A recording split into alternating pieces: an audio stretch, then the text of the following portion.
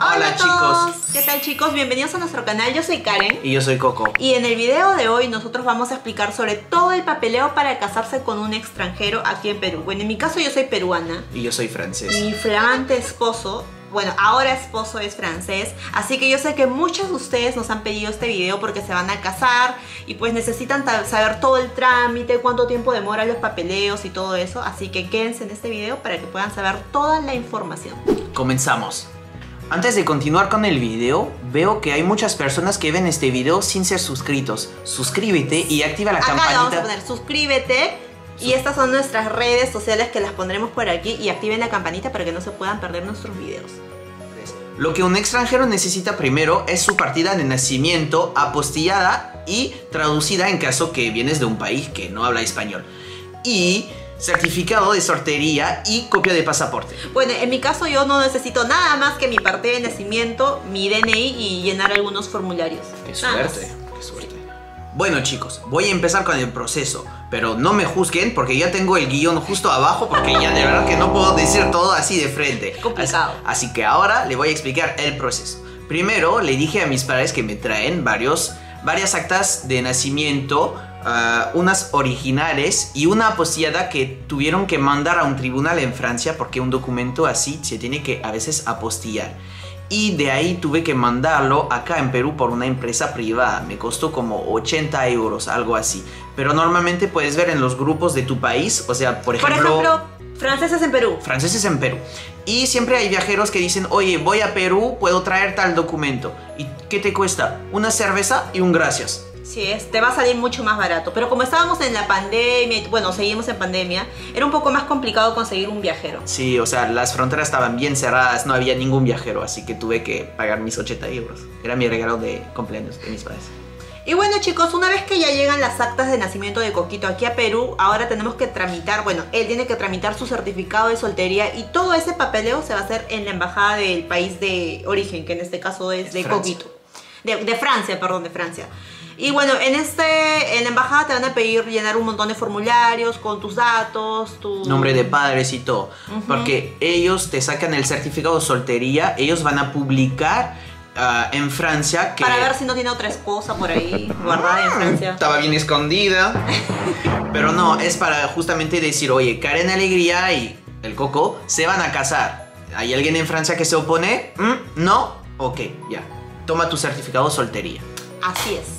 Y este certificado de soltería esta es muy importante. No puedes hacer nada sin eso. Y también hay que hacerlo con anticipación. Porque yo no sé si cómo será en los otros países, pero la administración francesa se demora un poquito. Sí. Hemos empezado como tipo en abril, mayo. Y en julio ya lo hemos tenido. Así que hazlo con anticipación. Bueno, tenemos que precisar que nosotros nos hemos casado en Lima, Perú, porque tengo entendido que en provincia es un poco más rápido, porque acá, por ejemplo, una vez que Coco ya tiene su certificado de soltería, ahora lo que tiene que hacer es llevar ese certificado de soltería y ese acta de nacimiento a apostillar al Ministerio de Relaciones Exteriores que está en el centro de Lima, que hay una super cola y de verdad es que casi No. nunca hay citas. O sea, No no, hay lo- no- citas. no puedes ir sin cola. No puedes ir sin cola. O haciendo cola, perdón. Tienes que sacar citas. Pero no Sí, hay citas. No hay citas.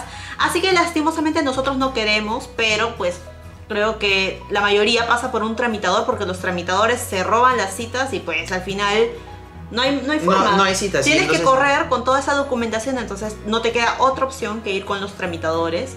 Y pues creo que pagas más o menos 30 soles por cada documento que ellos te quieran para legalizar o apostillar. legalizar o apostillar, es más o menos la misma cosa. Pero en nuestro caso nosotros no lo hemos hecho con un tramitador para apostillar esos primeros Sí, lo documentos. hicimos con mucha anticipación, reservamos la cita en el Ministerio de Relaciones Exteriores, así que también atentos, si ya están tramitando todo eso, vayan sacando cita ya porque de verdad es que con toma tiempo. Con anticipación todo.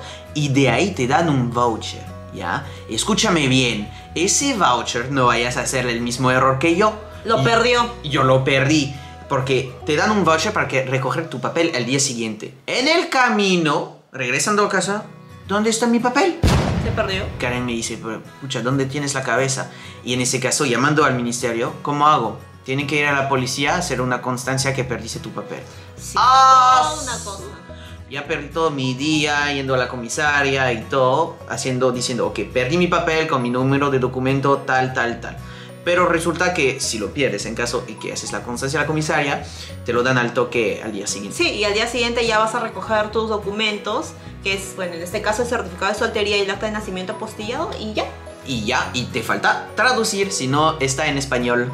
Sí, si es que el idioma no es en español, obviamente que lo tienes que traducir, pero no lo puedes traducir por traductor de Google ni nada de eso. Tienes que ir a un traductor oficial del idioma, que ahí pueden buscar también qué, qué traductores oficiales. Pero Se, ahí, bus- se busca por internet súper fácil. en este caso en francés no habían tantos y es un poco carito, pero conseguimos uno que nos cobraba 70 soles. por- 70 soles por para, documento. para, para doc- por documento, sí. Y muy cómoda, muy cómoda. Sí, sí, sí, lo hizo rápido, no, no tomó mucho tiempo. Y ya una vez que tienes todo, después de varios meses de legalizar, apostillar, traducir, Traducir. todos esos documentos, ya puedes recién empezar los trámites con la municipalidad. Bueno, en realidad la mayoría de municipalidades te piden los mismos documentos que lo más principal, obviamente, que es este los documentos de identidad, las partidas de nacimiento. En mi caso yo lo saqué solamente en RENIEC. Y yo en mi caso, obviamente, la partida de nacimiento legalizada y traducida.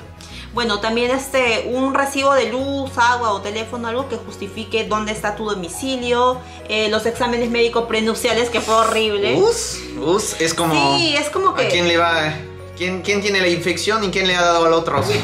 No, en- todo, todo bien. Como le dije Sí, en, pero, o sea- en- en el video anterior, pues nada antes del matrimonio, así que todo fresh. Sí, o sea, a pesar de que nosotros estamos totalmente sanos y eso, no sé por qué, pero ese tipo de exámenes me dan miedo. Y bueno, nosotros damos... Tú vives con tu conciencia, ¿ah? Yo todo clean.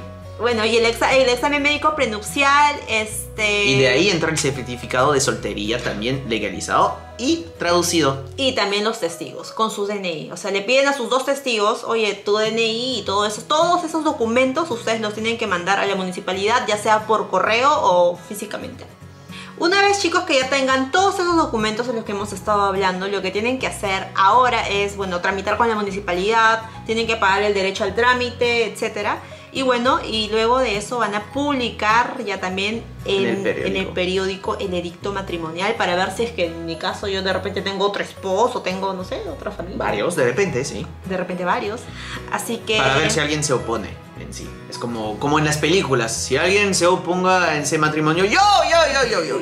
Y ya está, eh, pero ya nunca sucede. Sí, además también este, si es que quieren de repente, ¿no? En cada municipalidad es distinta. Por ejemplo, por cada espacio que ustedes quieran casarse, por locación, de repente si se quieren casar en la misma municipalidad, si de repente quieren que lo vayan a casar hasta el lugar donde ustedes quieran, que sea otro distrito, todo eso tiene un costo que ya ustedes lo van a ver con su propia Hasta municipalidad. algunos también llevan el, el alcalde a su lugar de recepción y eso obviamente tiene otro, otro costo. costo. Y ya ustedes están listos para casarse y vivir una vida llena de amor, Pasión. mucho menos... No, no estoy bromeando, pero ya, ya está. Una vez casado ya puedes engordar, puedes descuidarte, todo lo que tú quieres. Se ve un poco mi panza ya que engordé un poquito, pero ya están listos para casarse. No vamos a contar cómo se procede una ceremonia de, de matrimonio. Aunque ¿eh? tenemos un video, de hecho nuestro video pasado fue contando sobre nuestra boda con los proveedores, así que si ustedes quieren casarse, están planeando casarse, vayan a ver ese video también. Sí, y una vez que te casaste en Perú, tienes que hacer la transcripción en el país de origen de la pareja extranjera, en mi caso Francia. Y como les dije, la administración francesa demora un poquito, entonces eh, aproximadamente 8 semanas, ¿ya? Y tienes que... ¿Qué tienes que hacer? ¿Qué dice? que Tienes que apostillar ese acta de matrimonio. Ah, sí, la acta de matrimonio se demora un poco también. Te, te casas y de Y la municipalidad se lo da a RENIEC, ¿no? Y después pasa un tiempo y ustedes tienen que estar ahí fijándose en RENIEC si es que su acta de matrimonio ya está lista. Y tienes una que tramitar otro DNI. Otro DNI. Ah, claro, Claro. bueno, en mi caso, ¿no? Si ustedes quieren actualizar, yo puse ahí casada. Está escrito en grueso, no es el pequeño C, está escrito casada.